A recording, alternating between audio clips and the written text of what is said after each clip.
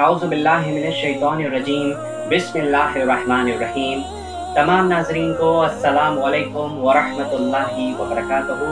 आप सब देख रहे हैं हमारा यूट्यूब चैनल दी अंसारियन और मैं हूँ आपका होस्ट एम एस अंसारी एक नई वीडियो के साथ। हम अपने तमाम नाजरीन, हमारे सुनने वालों, हमारे चाहने वालों, या वो जो हमारे चैनल पर नए हैं, उन सभी को हमारे चैनल पर दिल से खुश आमदी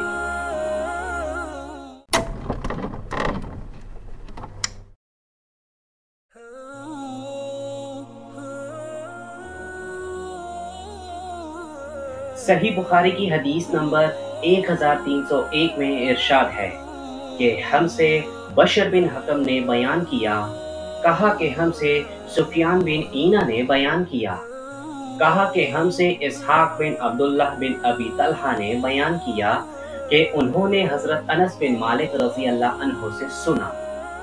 आपने बतलाया कि हज़रत अबू तलहा रज़ी अल्लाह अनहो का एक बच्चा बीमार हो गया। उन्होंने कहा कि उसका इंतकाल भी हो गया। उस वक्त हज़रत अबू तलहा रज़ी अल्लाह अनहो घर में मौजूद ना थे।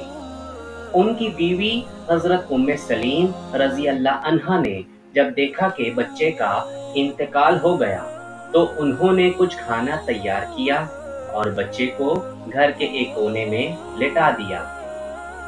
जब हज़रत अबू तलहा रज़ी अल्लाह अनहो तशरीफ़ लाए तो उन्होंने पूछा कि बच्चे की तबीयत कैसी है? हज़रत उम्मे सलीम रज़ी अल्लाह अनहा ने कहा कि उसे आराम मिल गया है और मेरा ख्याल है कि अब वो आराम ही कर रहा होगा। हज़रत अबू तलहा रज़ी अल्लाह अनहो ने समझा कि वो सही कह रही हैं। अब बच्चा अच्छा है। फिर हज़रत अबू तलहा रज़ी अल्लाह अनहो ने उम्मे सलीम रज़ी अल्लाह अनहा के पास रात गुजारी और जब सुबह हुई तो गुसल किया।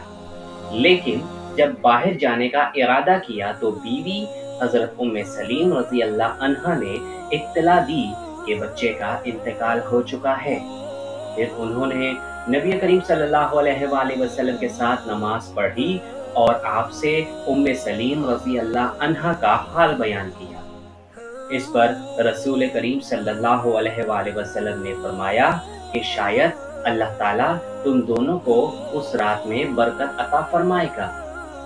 सुफियान ने ईना से बयान किया कि अंसार के एक शख्स ने बताया कि मैंने अबू तलहा रज़ी अल्लाह की उन्हें बीवी से नौ बेटे देखे जो सब के सब कुरान के आलिम थे।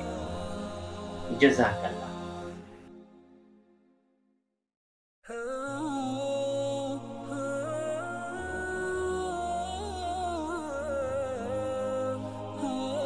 सही बुखारी की हदीस नंबर 1302 में इरशाद है कि हमसे मोहम्मद बिन बशार ने बयान किया। उन्होंने कहा कि हमसे गंदर ने बयान किया। उनसे शुबा ने, उनसे साबित ने, उन्होंने बयान किया कि मैंने हज़रत अनस रज़ी अल्लाह से सुना, आप नबी करीम सल्लल्लाहु अलैहि वसल्लम के हवाले से नकल करते थे। कि आप सल्लल्लाहु अलैहि वसल्लम ने फरमाया, सब्र तो वो ही है जो सदमा के शुरू में किया जाए। जजाक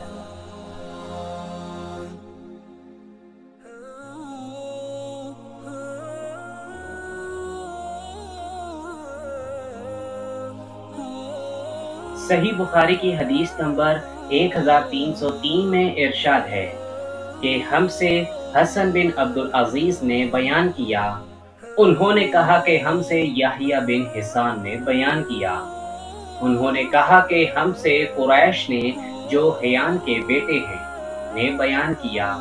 उनसे साबित ने और उनसे हज़रत अनस बिन मालिक रज़ी अल्लाह अनहु ने बयान की कि हम रसूल अल्लाह सल्लल्लाहु अलैहि वसल्लम के साथ अबू सैफ लोहार के यहाँ गए ये इब्राहिम, यानी रसूल करीम सल्लल्लाहु अलैहि वसल्लम के साहबजादे रज़ी अल्लाह अनहो को दूध पिलाने वाली अना के खावन थे। आन हजूर सल्लल्लाहु अलैहि वसल्लम ने इब्राहिम रज़ी अल्लाह अनहो को गोद में लिया और प्यार किया और सूंघा। फिर उसके बाद हम उनके यहाँ फिर गए। देखा कि उस वक्त इब्राहिम रज़ी अल्लाह अनहो दम तोड़ रहे हैं। रसूल अल्लाह सल्लल्लाहु अलैहि वसल्लम की आँखें आंसुओं से भर आईं तो अब्दुर्रहमान बिन औफ रज़ी अल्लाह अनहो बोल पड़े कि, या रसूल अल्लाह सल्लल्लाहु अलैहि वसल्लम, और आप भी लोगों की तरह बेसब्री करने लगे?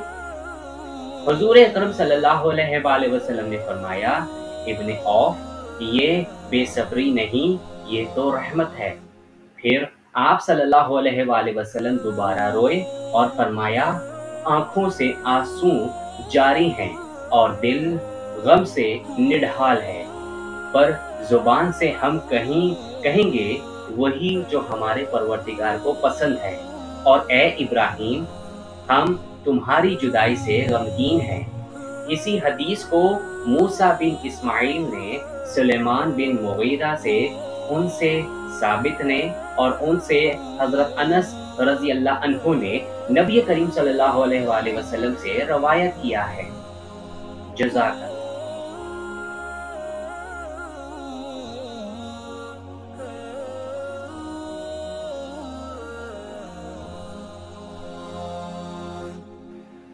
सही बुखारी की हदीस नंबर 1304 में इरशाद है कि हमसे इसबख बिन फ़र्ज़ ने बयान किया उनसे अब्दुल्ला बिन वाहब ने कहा कि मुझे खबर दी उम्र बिन हारिस ने। उन्हें सईद बिन हारिस अंसारी ने और उनसे अब्दुल्ला बिन उमर रज़ी अल्लाह अनहो ने बयान किया कि साद बिन इबादा रज़ी अल्लाह अनहो किसी मर्ज में मुब्तला हुए। नबी करीम सल्लल्लाहु अलैहि वसल्लम इयादत के लिए Abdul bin Auf Saad bin Abi Waqqas और अब्दुल्ला बिन मसूद रज़ी अल्लाह अनहु के साथ उनके यहाँ तशरीफ़ ले गए। जब आप सल्लल्लाहु अलैहि वसल्लम अंदर गए तो तैमारदारों के हजूम में उन्हें पाया। आप सल्लल्लाहु अलैहि वसल्लम ने दरियाफ्त फरमाया कि क्या वफात हो गई? लोगों ने कहा, नहीं, या रसूल अल्लाह नबी करीम सल्लल्लाहु अलैहि वसल्लम उनके मर्ज की शिद्दत को देखकर रो पड़े लोगों ने जो रसूल करीम सल्लल्लाहु अलैहि वसल्लम को रोते हुए देखा तो वो सब भी रोने लगे।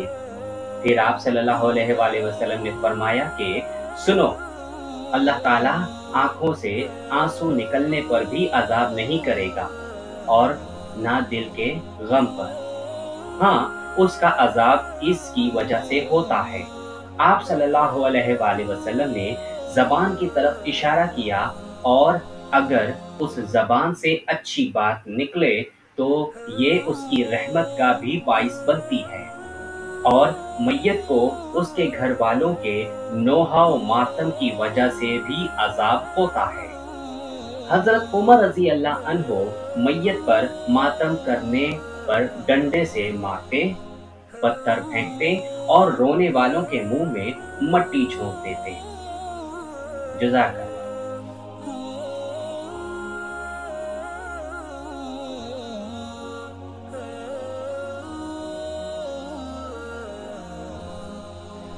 सही बुखारी की हदीस नंबर 1305 में इरशाद है कि हमसे मोहम्मद बिन अब्दुल्ला बिन खुशब ने बयान किया, कहा कि हमसे अबुल वहाब सख्फी ने, उनसे यहया बिन सईद अंसारी ने कहा कि मुझे उमरा बिनते अब्दुलरहमान अंसारी ने खबर दी। उन्होंने बयान किया कि मैंने हज़रत आयशा सद्दीका रज़ी अल्लाह अनहा से सुना, आपने फरमाया कि जब जैद बिन हारिसा, जाफ़र बिन अबी तालिब और अब्दुल्ला बिन रवाह रज़ी अल्लाह की शहादत की खबर आई। तो हुजूर अकरम सल्लल्लाहु अलैहि वसल्लम इस तरह बैठे कि गम के आसार आप सल्लल्लाहु अलैहि वसल्लम के चेहरे पर नुमाया थे। मैं दरवाजे के एक सुराख से आप सल्लल्लाहु अलैहि वसल्लम को देख रही थी। इतने में एक साहिब आए और कहा कि, या रसूल अल्लाह जाफ़र के घर की औरतें नोहा और मातम कर रही हैं। आन हजूर सल्लल्लाहु वसल्लम ने रोकने के लिए कहा, वो साहब गए, लेकिन फिर वापस आ गए और कहा कि वो नहीं मानती। आप सल्लल्लाहु अलैहि वसल्लम ने दोबारा रोकने के लिए भेजा। वो गए और फिर वापस चले आए। कहा कि, बाखुदा, वो तो मुझ पर गालिब आ गई हैं, या ये कहा कि हम पर गालिब आ गई हैं। शक मोहम्मद बिन औसफ को था। आयशा रज़ी अल्लाह अनहा ने बयान किया कि मेरा यकीन ये है कि आप सल्लल्लाहु अलैहि वसल्लम ने फरमाया कि फिर उनके मुँह में मट्टी छोंक दे इस पर मेरी ज़ुबान से निकला कि अल्लाह तेरी नाक खाक आलूदा करे तो ना तो वो काम कर सका, जिसका आन हज़रत सल्लल्लाहु अलैहि वसल्लम ने हुक्म दिया था, और ना आप सल्लल्लाहु अलैहि वसल्लम को तकलीफ़ देना छोड़ता है।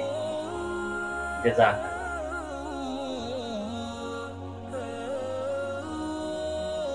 अगर आपको हमारी वीडियो पसंद आए तो इसको ज़रूर लाइक करें और अपने दोस्तों के साथ शेयर करना बिल्कुल भी ना भूलें। और अगर आप कोई भी बात पूछना चाहते हैं तो आप हमें से कमेंट सेक्शन में पूछ सकते हैं या आप इस वीडियो से मुतलिक अपनी राय का इजहार अपने कमेंट सेक्शन में कर सकते हैं। और अगर आप चाहते हैं कि इससे पिछली अहदीस भी सुनी जाए तो आप ऊपर आई के बटन पर क्लिक करके सुन सकते हैं। तो अब इंतज़ार कीजिए हमारी नई आने वाली वीडियो का। लेकिन जाने से पहले आप सभी लोगों से एक बहुत छोटी सी इल्तमास कि अगर वो लोग जो हमारे चैनल पर पहली दफ़ा आ रहे हैं या नए हैं या उन लोगों ने जिन्होंने अभी तक हमारे चैनल को सब्सक्राइब नहीं किया तो इसको ज़रूर सब्सक्राइब कर लें और घंटी के निशान को दबाना बिल्कुल मत भूलें, ताकि जैसे ही हमारी नई वीडियो अपलोड हो तो वो आप तक नोटिफिकेशन आ जाए। इसके अलावा आप हमें फेसबुक इंस्टाग्राम और लिंक्डइन में भी फॉलो कर सकते हैं और हमसे पूछ सकते हैं। तो चलिए आप मिलते हैं आपसे बिल्कुल एक नई वीडियो में। तब तक के लिए अपना ख्याल रखें और हमें दुआओं में याद रखें। आप सभी को अस्सलाम वालेकुम वरहमतुल्लाहि रहमतुल्लाहि व बरकातहू